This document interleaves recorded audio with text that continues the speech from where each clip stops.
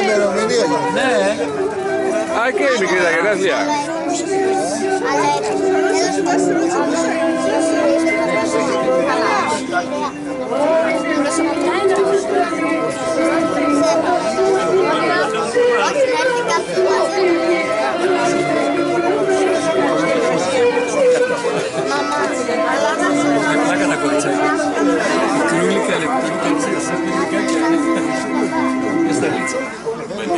Magos chamamos.